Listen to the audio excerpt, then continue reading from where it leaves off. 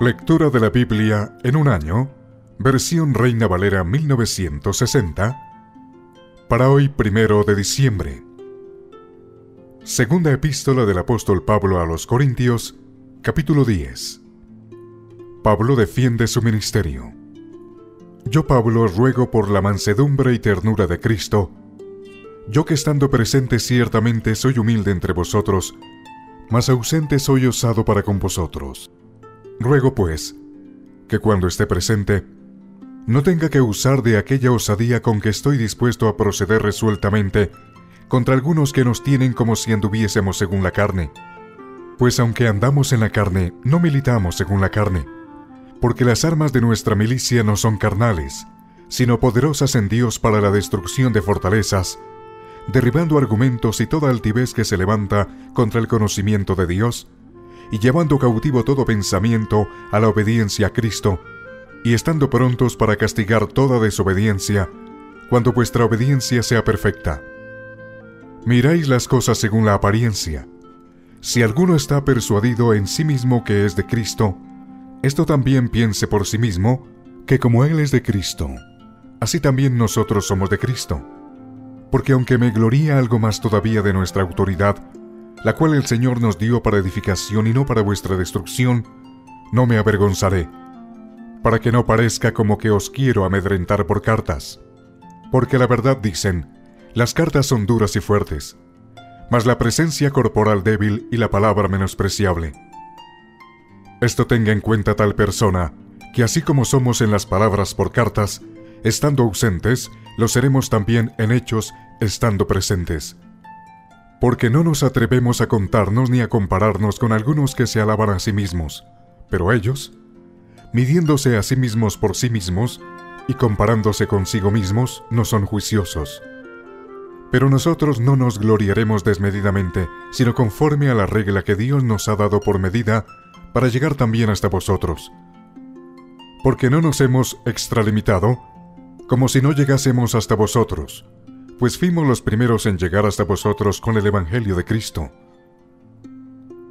No nos gloriamos desmedidamente en trabajos ajenos, sino que esperamos que conforme crezca vuestra fe, seremos muy engrandecidos entre vosotros, conforme a nuestra regla, y que anunciaremos el Evangelio en los lugares más allá de vosotros, sin entrar en la obra de otro para gloriarnos en lo que ya estaba preparado.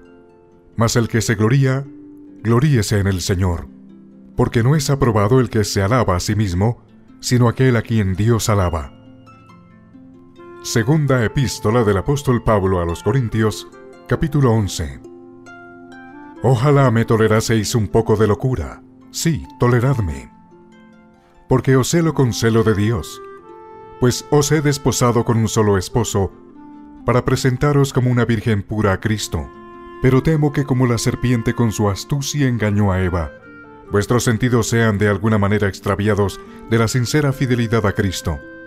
Porque si viene alguno predicando a otro Jesús que el que os hemos predicado, o si recibís otro espíritu que el que habéis recibido, u otro evangelio que el que habéis aceptado, bien lo toleráis.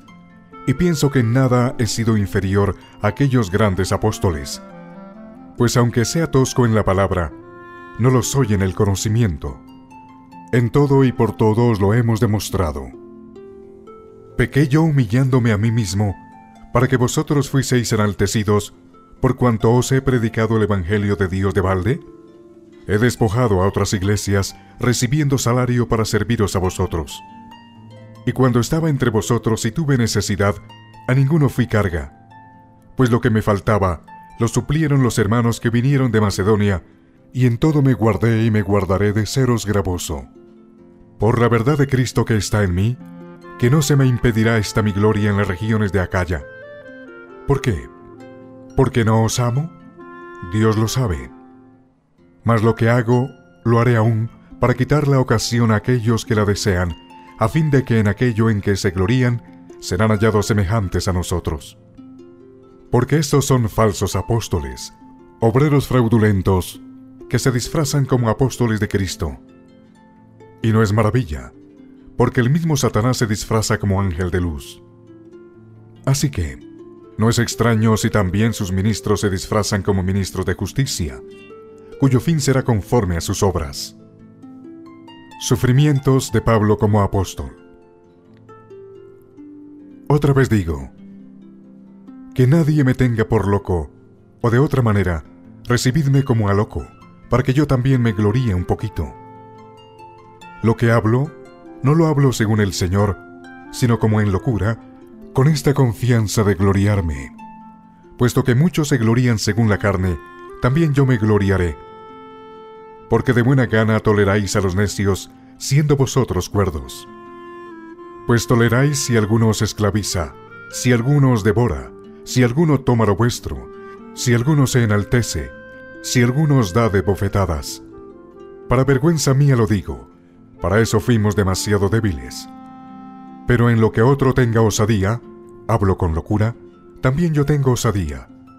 ¿Son hebreos? Yo también. ¿Son israelitas? Yo también. ¿Son descendientes de Abraham? También yo. ¿Son ministros de Cristo? Como si estuviera loco hablo. Yo más. En trabajos más abundante. En azotes sin número. En cárceles más. En peligros de muerte muchas veces. De los judíos cinco veces he recibido cuarenta azotes menos uno. Tres veces he sido azotado con varas. Una vez apedreado Tres veces he padecido un naufragio. Una noche y un día he estado como un náufrago en alta mar. En caminos muchas veces. En peligros de ríos. Peligros de ladrones. Peligros de los de mi nación. Peligros de los gentiles. Peligros en la ciudad. Peligros en el desierto. Peligros en el mar. Peligros entre falsos hermanos. En trabajo y fatiga. En muchos desvelos.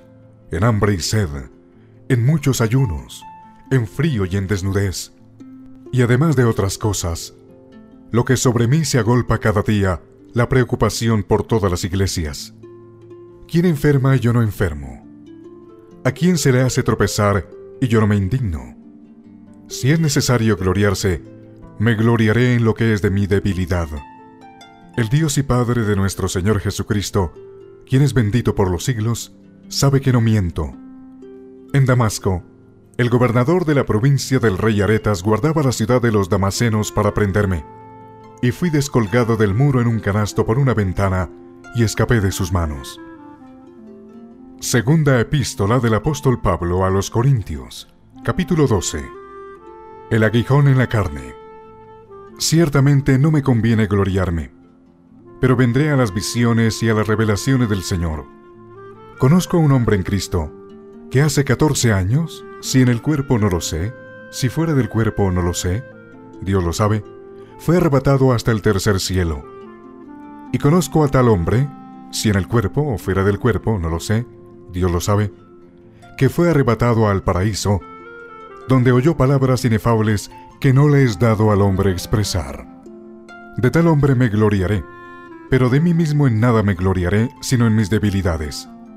Sin embargo, si quisiera gloriarme, no sería insensato, porque diría la verdad. Pero lo dejo para que nadie piense de mí más de lo que en mí ve u oye de mí. Y para que la grandeza de las revelaciones no me exaltase desmedidamente, me fue dado un aguijón en mi carne, un mensajero de Satanás que me abofetee, para que no me enaltezca sobremanera. Respecto a lo cual tres veces he rogado al Señor que lo quite de mí. Y me ha dicho, Bástate mi gracia, porque mi poder se perfecciona en la debilidad. Por tanto, de buena gana me gloriaré más bien en mis debilidades, para que repose sobre mí el poder de Cristo.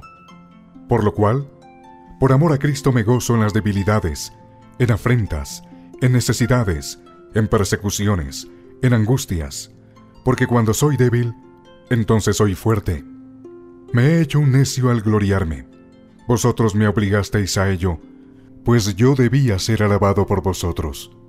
Porque nada he sido menos que aquellos grandes apóstoles, aunque nada soy.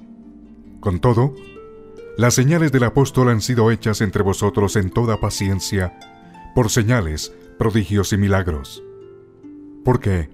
¿En qué habéis sido menos que las otras iglesias, sino en que yo mismo no os he sido carga? Perdonadme este agravio.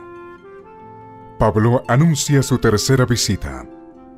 He aquí, por tercera vez estoy preparado para ir a vosotros.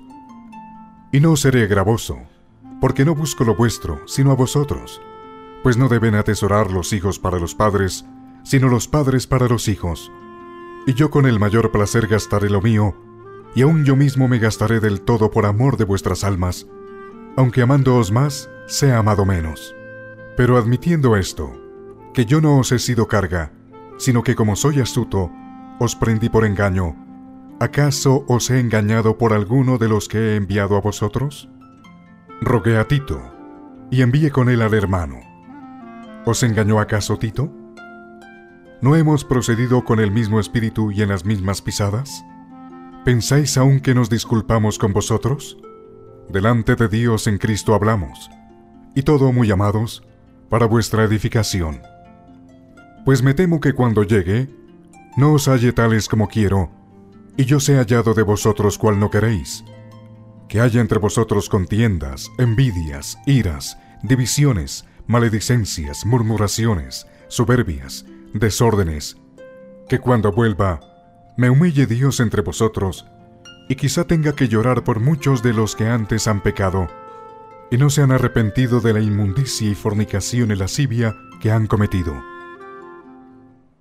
Segunda epístola del apóstol Pablo a los Corintios, capítulo 13. Esta es la tercera vez que voy a vosotros. Por boca de dos o de tres testigos se decidirá todo asunto. He dicho antes, y ahora digo otra vez como si estuviera presente. Y ahora ausente lo escribo a los que antes pecaron, y a todos los demás, que si voy otra vez no seré indulgente.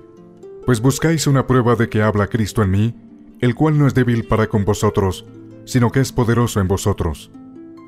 Porque aunque fue crucificado en debilidad, vive por el poder de Dios. Pues también nosotros somos débiles en él, pero viviremos con él por el poder de Dios para con vosotros. Examinaos a vosotros mismos si estáis en la fe. Probaos a vosotros mismos. ¿O no os conocéis a vosotros mismos que Jesucristo está en vosotros a menos que estéis reprobados? Mas espero que conoceréis que nosotros no estamos reprobados. Y oramos a Dios que ninguna cosa mala hagáis, no para que nosotros aparezcamos aprobados, sino para que vosotros hagáis lo bueno, aunque nosotros seamos como reprobados porque nada podemos contra la verdad, sino por la verdad. Por lo cual nos gozamos de que seamos nosotros débiles y que vosotros estéis fuertes, y aún oramos por vuestra perfección. Por esto os escribo estando ausente, para no usar de severidad cuando esté presente, conforme a la autoridad que el Señor me ha dado para edificación y no para destrucción. Saludos y doxología final. Por lo demás, hermanos, Tened gozo, perfeccionaos, consolaos, sed de un mismo sentir y vivid en paz, y el Dios de paz y de amor estará con vosotros. Saludaos unos a otros con ósculo santo. Todos los santos os saludan. La gracia del Señor Jesucristo, el amor de Dios y la comunión del Espíritu Santo sean con todos vosotros. Amén.